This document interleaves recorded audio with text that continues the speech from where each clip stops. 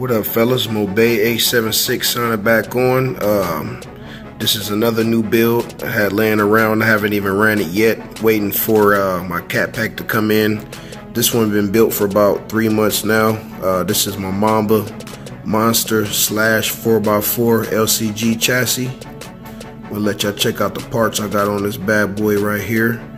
Starting off in the front, I got the uh, Integy front bumper GPM big bore shocks with the royal blue covers on there.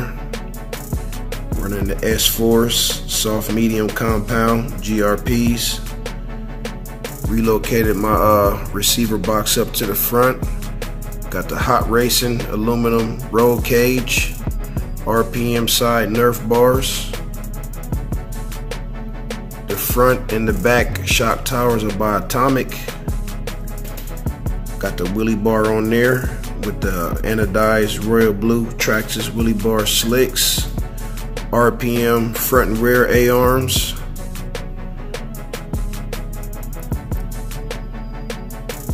got the sway bar on the back, took it off the front, hot racing motor plate, hot racing motor mount, 32 pitch gearing, 2200 kV setup, Mamba Monster first generation. Uh, this this ESC, this is the first Mamba castle uh, creation setup I ever bought, and this I had this thing in my collection for well over like seven, eight years now. Never let me down yet.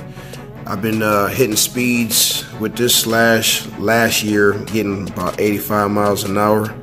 Hopefully, uh, I can get some more out of it. Try to hit that 100 mile mark stock servo in there. Center drive shaft is a GPM with the hardened steel ends on both ends of the drive shaft. That's about it, fellas. Let me know what y'all think about this one right here.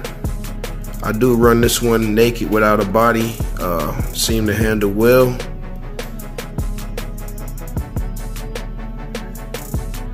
There it is, fellas.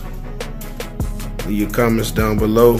This one will be on the road soon. As soon as that cap pack come in, we're gonna be getting some speed runs. Stay tuned. Thanks for watching.